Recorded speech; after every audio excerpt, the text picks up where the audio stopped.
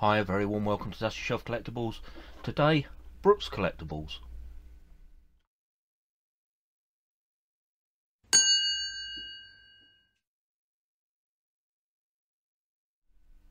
Yeah, hi. So, um, let's give a little bit of background to this video. So, I, when I set out to do Dusty Shelf Collectables, my aim was to take something from my own collection and I mean I've been collecting for 40 years I've got all kinds of things you know everything from RC cars railways Scalextrics you name it is in there and I collect things from theme parks and um, you know I've got a few bits and pieces from historical bits as well from Blackpool uh, it's just something that interests me. I collect anything that interests me.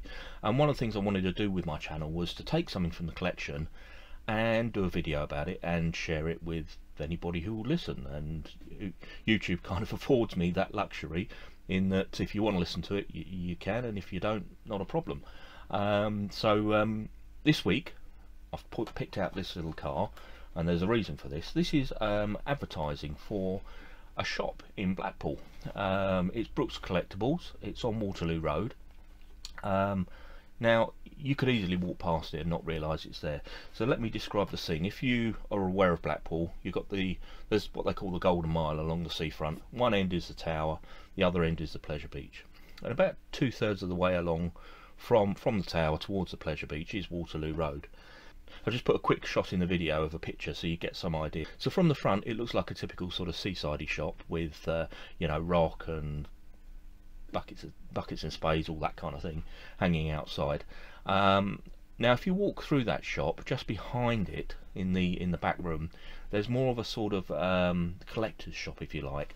Uh, more modern sort of collectibles and then to the right hand side of that is the main part or the main bit I would class as Brooks Collectables um, and in here they've got all vintage toys for sale and you know corgi and all kinds of things in there there's star wars and you know it, it's fantastic. It's quite a small little shop. Now if you walk around the side of the building into waterloo road that's the entrance to the main shop of brooks collectables. Um, so you can either go in through as i say in through the sort of traditional seaside shop or round into brooks collectables. But once you're in this back sort of shop area there's a set of stairs in the back corner um, that lead up to the second floor. And when it's open this is a toy museum. Um, I say toy museum it's it's really a collection of all kinds of things. There's so much in there. And every time I go in there there's something I don't know whether it's new or I didn't spot it the year before but over the years I mean this this is a highlight for every time I go to Blackpool. I go to this this shop. And over the years they've encouraged me to you know just looking around in there I got the idea of putting cabinets up in uh, my office uh, at home you know my little uh, study um, to put some collections on display. Um, the tram line tramway that's in there um, encouraged me to convert a couple of corgi trams into motorized ones. And um, every year that I go there I you know, I, I stand there and the, the gentleman in there, I, have spoken to him many years, uh, you know, many times over the years, and uh, always got, you know, to share some lovely information. This year is telling me about the map that's on the wall and the history behind it. I mean, it's uh, an, you know, 1890s map um, that's got this checkered history of how it eventually ended up in the shop. It's just so fascinating. And um, I cannot stress enough what a little gem this is um, that's hidden away you wouldn't even know it's there I mean that's the thing and it's so lovely and the people in there are absolutely wonderful um, in my trip a couple of weeks ago I popped into the shop and I asked if I could film. And both the gentleman upstairs and the gentleman downstairs was so encouraging so lovely um, uh, and supportive you know over the, the the fact that I'm doing a YouTube channel and you know this kind of thing interests me. And as I say the gentleman upstairs I spent ages talking to him about the map. So a few years back I bought their little wagon here because sentimental value to me is that this has become a highlight of my trip to Blackpool every year. And um, yeah this sits on the shelf with some of the other memorabilia from Blackpool. So what I'd like to do is just take you for a little tour. First of all around the upstairs museum. Just show you the kind of thing that's in there. I mean I can't you know you you can't do it justice on the camera. It's it's not it's not a massive museum. Don't get me wrong it's not a massive museum but there's so much packed in there you know it's it's a definite place to visit absolutely if you're if you're in the area. So I'll take you for a little tour around upstairs so you get a feel for what's in there and then we'll come down and have a look inside the uh, inside the retail shop and uh, some of the uh, collectibles that are on sale in there. So let's go and have a look at the footage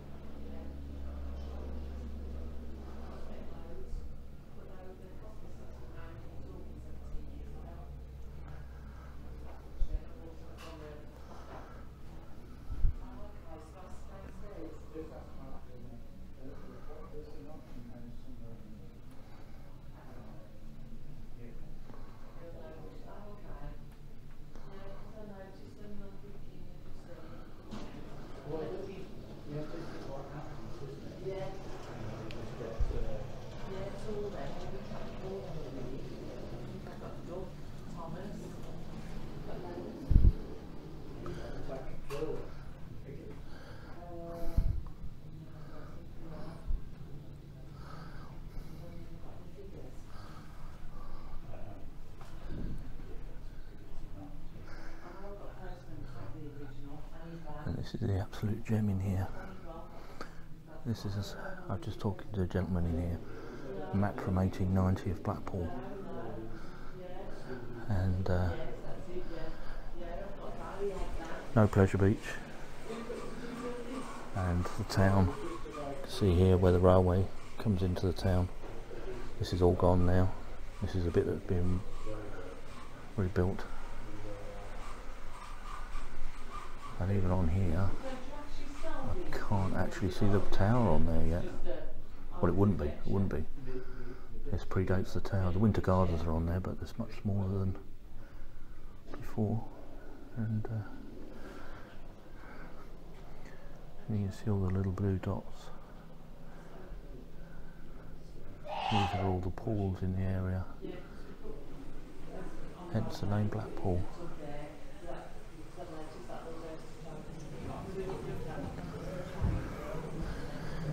and as I've spoken about a couple of times. Land speed cars.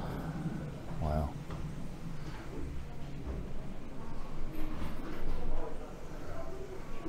So this little museum um, I've been coming in here every time I come to Blackpool which is two or three times a year to have a look round. It's an absolute hidden little gem. Wow.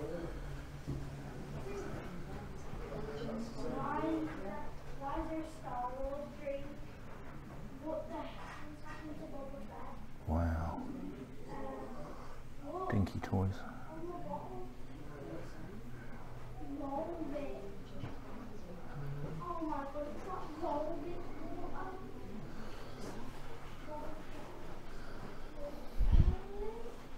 What a collection.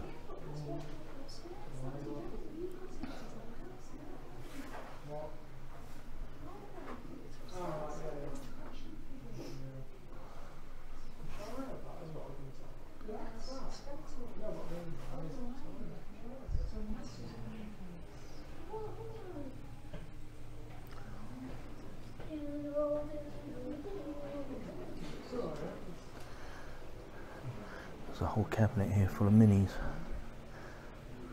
Wow. Every shape and size you can imagine. I'm a big collector of minis, so uh, fascinating.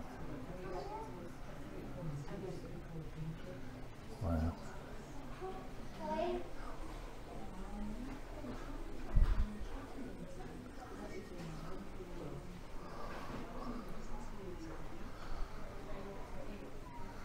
These are all Britains soldiers.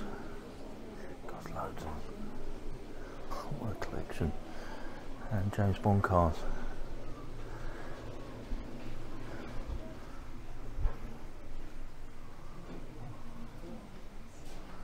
There's a original corgi over the back there. And good old Star Wars. And that's quite a collection there. Goes on round here. And at the top, I don't know if it's showing up there, at the top is all the boxes. Evel Knievel. Wow, lovely. The original Corgi Batmobile. I don't know if that's showing up on there, but that's the one where uh, it's got like a little blade that comes out in front of it. I have a scar in my forehead to show where that uh, landed when I was a kid. Stormtrooper helmet. And look at this down here. Wow.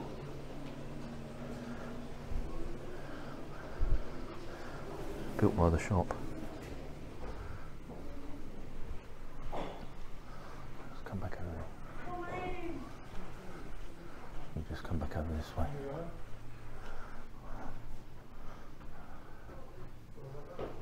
Display of aircraft.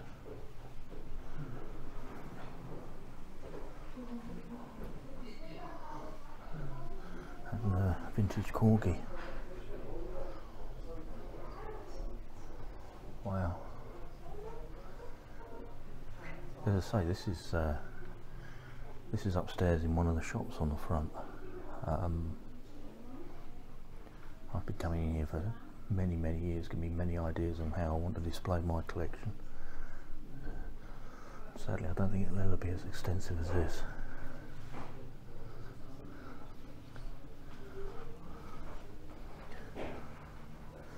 AA manual and memorabilia with the cars here, and then the same one for the RAC.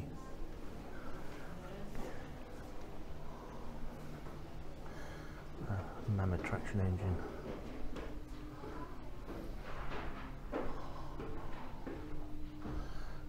Vintage bikes. Wow.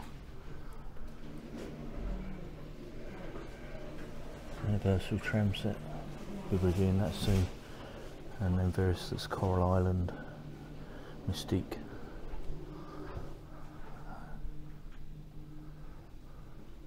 Let me just go and have a look at the layout.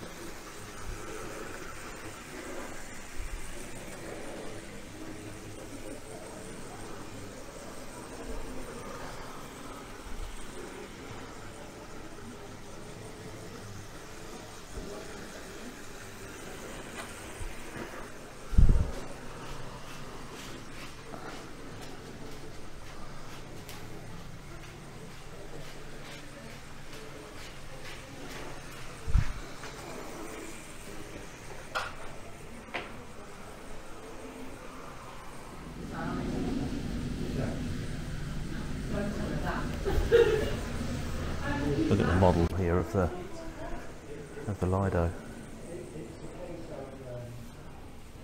So if you know Blackpool at all, this is where the sandcastle, this is what was there before. A picture of the tower.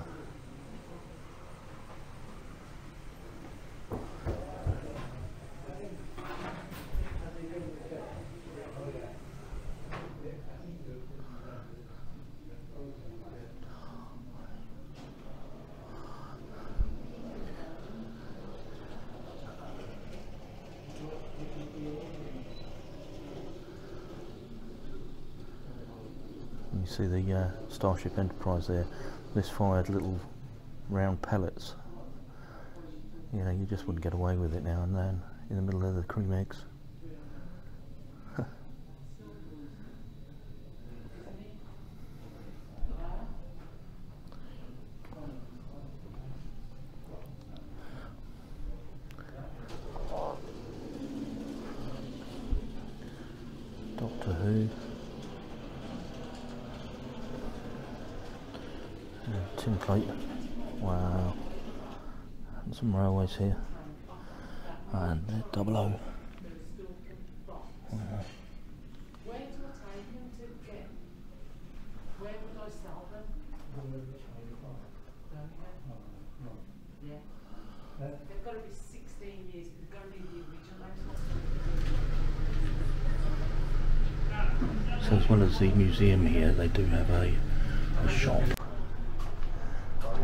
They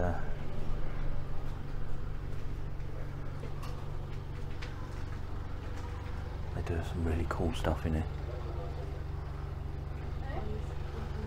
Really cool. Hot Wheels.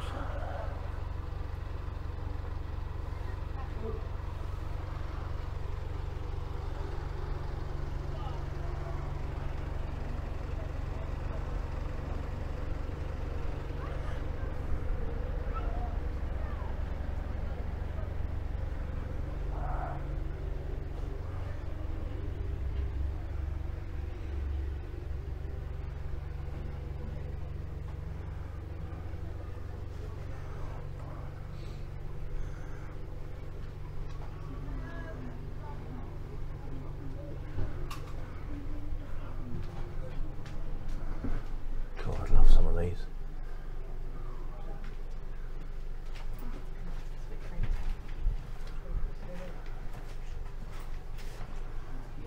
So, there's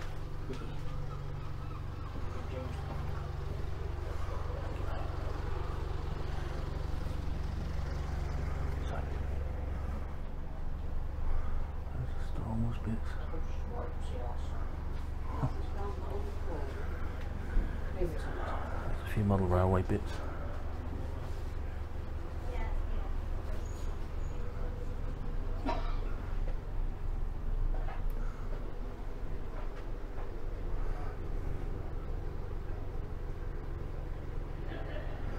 And that down there, the Tamil. Wow.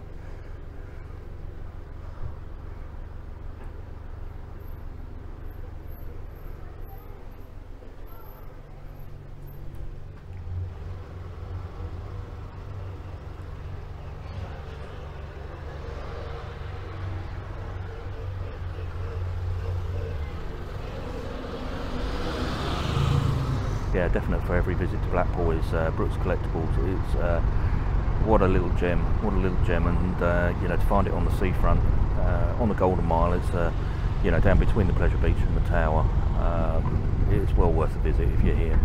Um, wonderful collection, fantastic shop, lots of stock in there. I mean, I would just wish I had that. you know, I hadn't overspent this month. I could have spent a fortune in there. Um, absolutely amazing. And then upstairs, this toy museum, which is, yeah, just somebody's personal collection, and it looks fantastic. It really is. There's all kinds of things in there. Well worth a visit. So anyway, I'll leave this one there. Thank you ever so much for watching. I'll catch you on the next one.